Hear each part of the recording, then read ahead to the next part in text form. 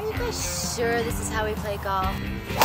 Ah, hello, welcome to Pennytree. How are you? This course sucks. Excuse my French, but this place looks like shit. If we don't do something soon, we're gonna lose everything.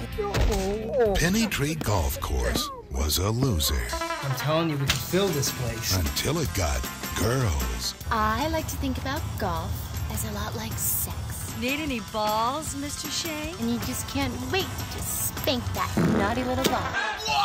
Wow, a naked lady! What the hell is going on over there? Now, the only problem for Pennytree, It's a tricycle and a wagon. the boys at Bentwood. Challenge that moron Pennytree to a little round of golf. Zigzag, zigzag! Me and my pro mm. against you and your pro. Winner take all. The clash of two titans. Oh, you're just like mommy. A classic tale of good versus evil. What's your name?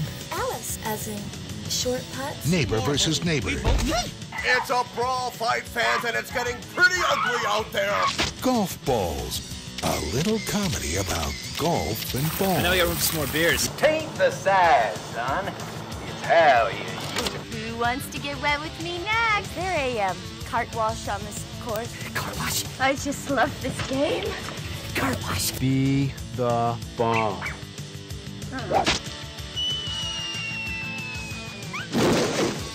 Golf balls. You'll never look at golf the same way again.